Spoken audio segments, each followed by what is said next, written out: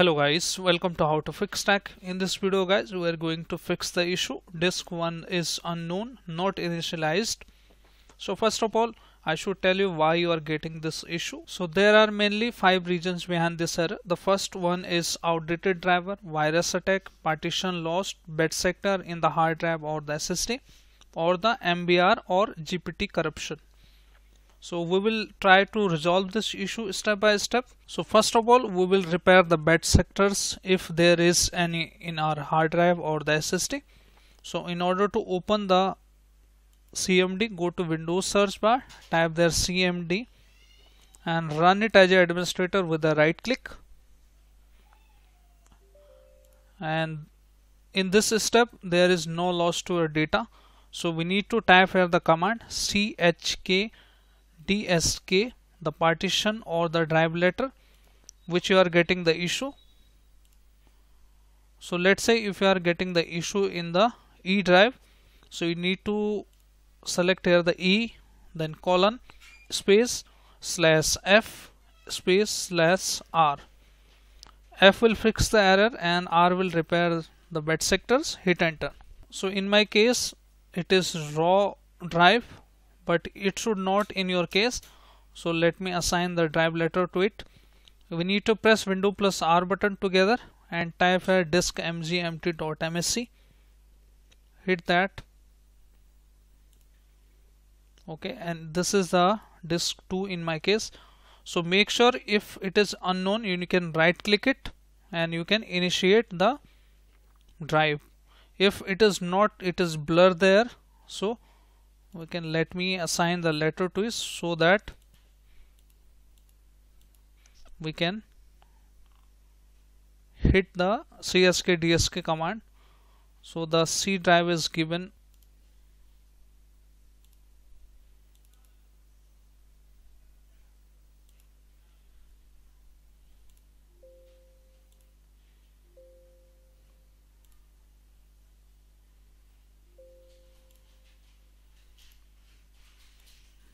so E drive has been assigned to it.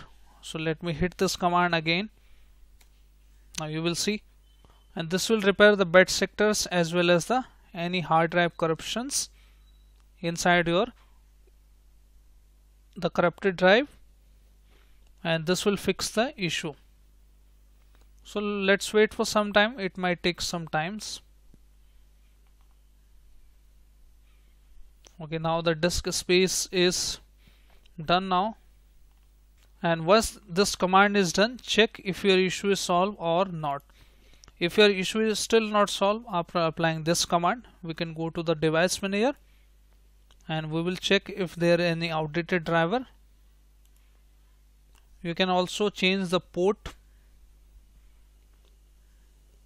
change the port to different port and go to disk drives update it update all the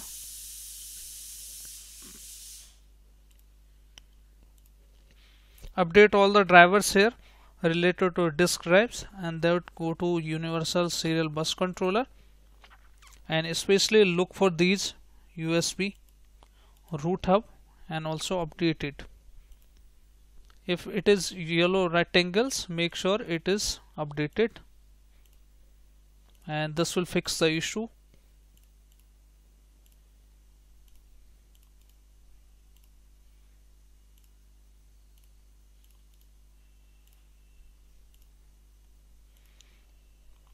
okay once all the drivers are updated here it should fix your issue. If your issue is still not fixed so we have to format our drive. So in this case the, all the data will be lost. So make sure uh, you have not important data inside your that drive. So open the partition disk management and you need to right click here and click on delete volume. Click on yes okay you need to like right click here after that. Click on new volume. Select that. Next next. Choose as default.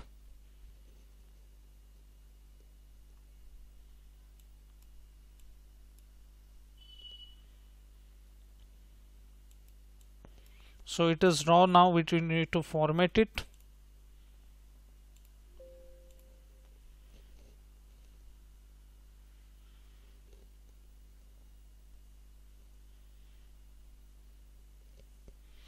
so it should be fix your issue now since we have assigned letter to it.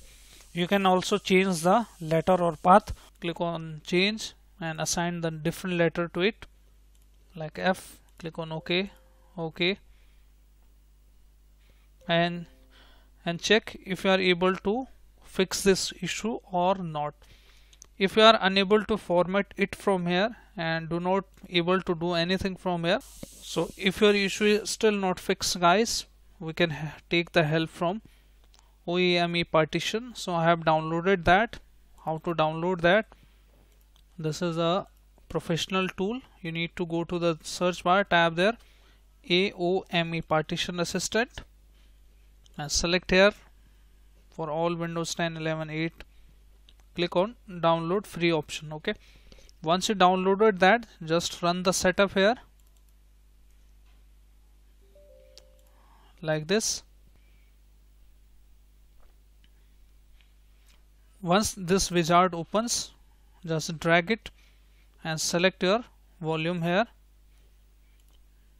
Select your volume which is not operating good. Right click on it and click on rebuild MBR and you need to select here this as it is 1078 okay.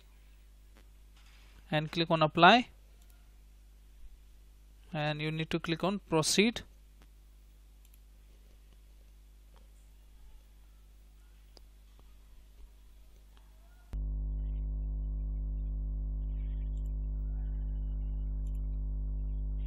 Click on yes. Plug in the charger congratulations all operations have been completed successfully. Click on ok. And now it should fix your issue. Click on apply.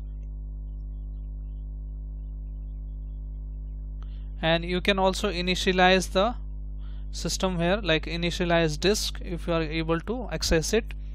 Or you can wipe the hard drive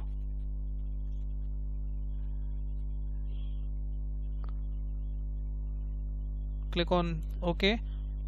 And this will un unallocated your space. Click on apply. And later on yes. And this will delete all the data from your drive. So once this is done check if you are able to access your hard drive or not. So it should you should access your hard drive from here. And you can also initiate some create partition select as it is E drive next. And you can see. Okay. So this is how you can troubleshoot the issue. So hope your issue is fixed now. If your issue is fixed then hit like subscribe and share. Thank you. Thanks for watching. How to fix tech